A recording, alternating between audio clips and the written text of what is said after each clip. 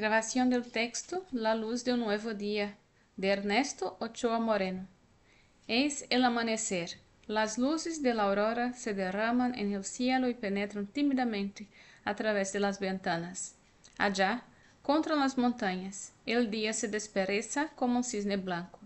Entre los árboles, que lo roban asfalto al paisaje urbano, se oyen trinos de pájaros. La naturaleza toda parece estremecerse bajo la caricia de una nueva creación, como si todavía sintiera la mano de Dios deslizarse por su piel dormida. Una ráfaga de aromas nuevos se esparce en el aire. Despertarme en este momento y sentir tan honda sensación de bienestar me hace partícipe y protagonista de un milagro, el milagro de estar vivo. Me levanto. Dejo sobre la almohada y entre el calor de las cobijas todas las pesadumbres del pasado, todo un ayer cargado de melancolías. La vida empieza aquí, en este instante. Que fácil y esperanzador afrontar un futuro que no tiene sino 24 horas, un futuro convertido simplesmente en un hoy. Abro la ventana, olfateio com entusiasmo los olores que brotan del amanecer uma energia fresca, tonificante, penetra em los pulmones e va adentrando-se dulcemente por todos os recodos de la sangre. La piel siente, como um banho inesperado, el aire ligero que la envuelve y acaricia.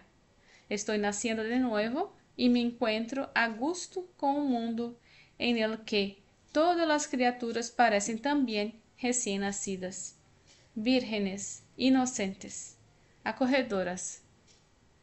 De pronto, descubro que allá, detrás del corazón, brota una indefinible alegría. Es la alegría elemental de estar vivo, de sentir la vida y a borbotones. Una sensación realmente terapêutica. Una medicina al alcance de la mano, que día a día nos depara la existência, existência y que, lamentavelmente desperdiciamos inconscientes. É oportuno, então, vivir com intensidade esse espaço mínimo de despertar a um novo dia para recuperar as essências vitais da condição humana e conjurar o pessimismo, a sensação de derrota e desesperança com que a menudo terminamos a jornada. O secreto, não somente do éxito, sino também de la com la que há que afrontar tantas situações difíceis de la existência, como uma enfermidade, por exemplo, um duelo, uma separação, uma ausência e tantas outras amargas realidades. Radica el descobrir que quando amanece no arranca um novo martírio, um insufrible calvário, sino se no brinda uma nova oportunidad de rehacer la vida, de reconstruir los escombros de cualquier catástrofe íntima.